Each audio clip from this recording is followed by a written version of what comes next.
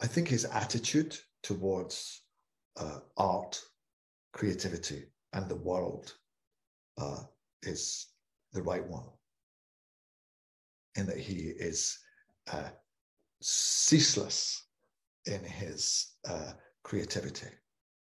And it touches everything from what he paints, what he writes, what he puts on in the morning, how he talks, and how he deals with the world. And everything that he's brought into the world has made it better.